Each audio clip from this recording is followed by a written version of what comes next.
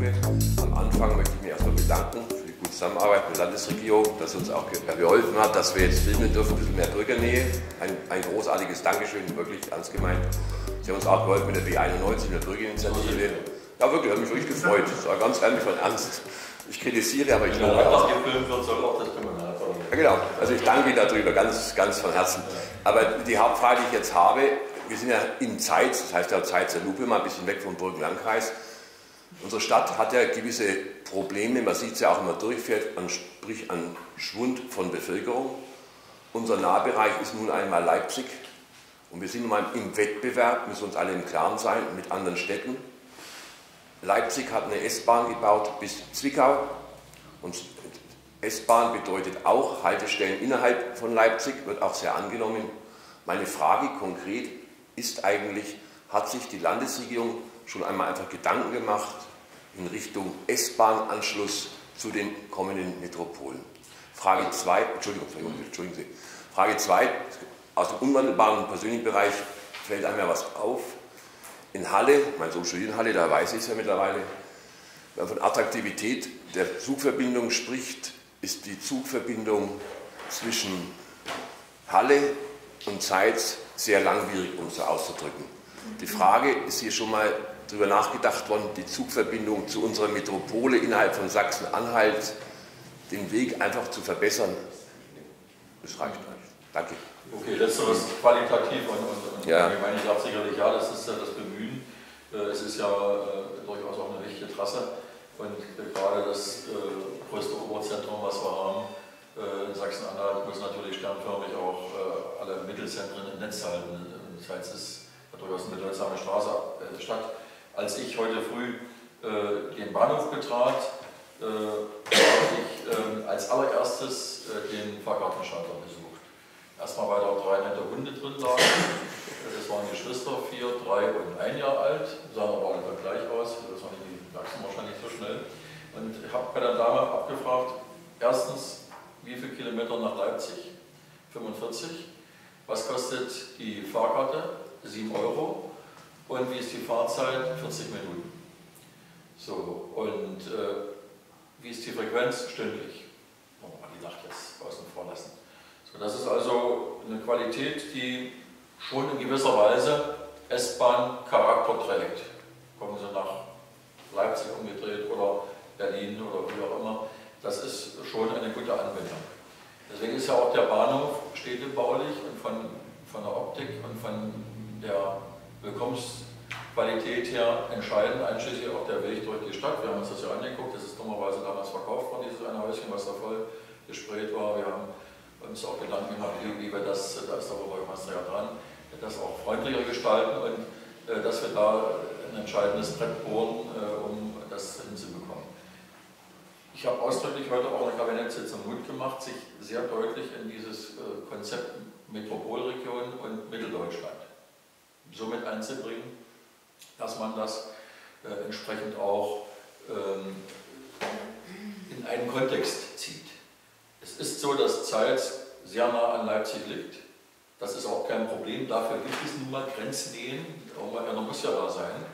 Äh, und zweitens, äh, dass wir gerade auch im Zusammenhang mit Halle und Leipzig eine Kooperationsvereinbarung in meinem Beisein der Universitäten abgeschlossen haben, wo es darum geht, zu vernetzen. Das heißt also auch, sagen wir mal, bestimmte Sachen nicht mehr doppelt zu machen, sondern in einer Hand, bis hin auch zum wechselweisen Studentenaustausch und so weiter und so fort.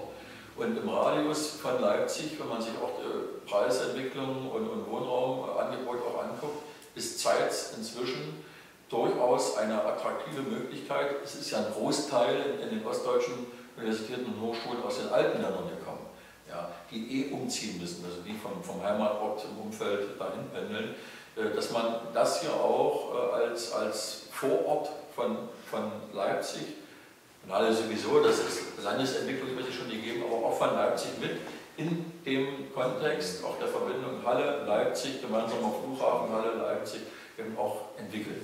Nur in diesem Dreieck, Halle, Leipzig, Zeit sozusagen, haben wir hier ein, eine Perspektive, die auch wieder Trends umkehrt und auch Bevölkerungsentwicklung ins Positive bringt.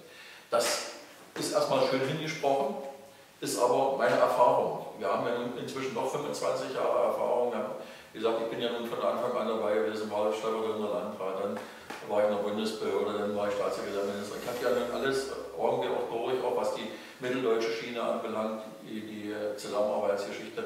Und da, wo es sich etwas bewegt hat, und da ist überall mehr Bewegung drin, als man denkt, bis hin auch zum Pendlersaldo und so weiter und so fort und auch zum, zum Wanderungssaldo, äh, da ist eine Erkenntnis gegeben, dass man sich reinbringen muss ins Netz und dass auch die Optik entscheidet. Und deswegen gucke ich immer auch vor der Kabinettssitzung, das hat man ja miteinander verabredet, gucken wir da hin, nicht nur ob die Deiche äh, und die Planungsverfahren dazu zum Tierpark, die gelaufen, äh, Auswertung 13 und Flut, sondern auch, dass wir schauen, wie kriegen wir diese Attraktivität auch vermittelt, äh, die ja sukzessive gewachsen ist und wo wir später baulich ja auch noch einiges an Schwerpunkten setzen wollen. Und der Bahnhof ist für mich eine Schlüsselposition. Ja. Mit all dem, was ich gesagt habe. Also diese, Sie sehen, dass ich da bewusst reingegangen bin. Dann habe ich noch die Koppen äh, besorgt und, und noch Cappuccino getrunken und äh, auch das Gebäude erklären lassen. Das ist was, das muss man auch sehen, auch mit in Richtung 17, einschließlich auch der Vorbewerbung. Wir haben ja damals nicht umsonst äh, die, die äh, Lager hier gehabt und so weiter. Das sind alles Dinge, die müssen jetzt auch gespielt werden. Auch der, die Marktplatzentwicklung, alles diese Dinge, die hier die Diskussion führen sind alles kleine Bausteinchen in die richtige Richtung. Und dass er auch politisch entscheiden kann, weil er inzwischen einen ausgeglichenen Haushalt hat und nicht zwangsverwaltet von irgendjemandem in der Kommunalaufsicht sozusagen jeden Tag da auf Knien betteln muss, dass ihm was freigegeben wird. Das ist ein Verdienst, das kann man nicht hoch genug einrechnen, weil das auch, Sie ja heute auch die Statements, was dabei gewesen wären, des Finanzministers, honoriert bekommt. Ja, dass man sich synchron verhält zum Land und auch diese Stärken dann auch gestärkt bekommt, dass man dann wieder auch selber Politik und entscheidungsfähig wird. Herzlichen Dank. Bei der, bei der Bahn allerdings, Henry, äh, ich meine, äh, wenn es eine Nachfrage gäbe für die Verbindung Zweitz-Halle, hätten das die jetzt zulässigen Campusverbindungen längst aufgegriffen. Äh, ist ja ist vorhanden. 5 Euro, aber ist vorhanden. Das ist durch die neuen Fernbus ist, ist, ist jetzt vorhanden. 5 Euro. Mein Sohn studiert in Leipzig, der äh, Halle, der kennt ja die Linie. Als, als Bahnlinie, das denke ich, ist der Bedarf so nicht ausgeprägt. Wir haben eine starke Zielorientierung der Stadt Leipzig. Die zweite Kategorie ist Gera. Äh, und, und äh, Halle kommt für bestimmte Berufsgruppen. Also ich fahre nach Halle zu den Behörden zum Landesverwaltungsamt etc. Aber ansonsten ist Halle äh, auch nicht in dem Bewusstsein äh, drin. Jetzt muss ich mal für Halle den Stab brechen. Mein Sohn ist in Halle und er hat immer so einen schlechten Ruf, dann Leipzig auch. Halle ist in der Innenstadt eine wunderschöne Stadt geworden. Halle ist ganz eindeutig. Eine, richtig, eine, Wunder, eine wunderschöne Stadt. Die, die landschaftliche Lage, die landschaftliche Lage mit der Saale, mit all dem drum und dran, also das, das Fluidum und so weiter und so fort kommt Leipzig als Kunstprodukt überhaupt nicht an. Das sage ich Ihnen als Wittenberger, der völlig neutral ist, der Leipzig gerne hat. Ja, der jetzt 20 Jahre, war's.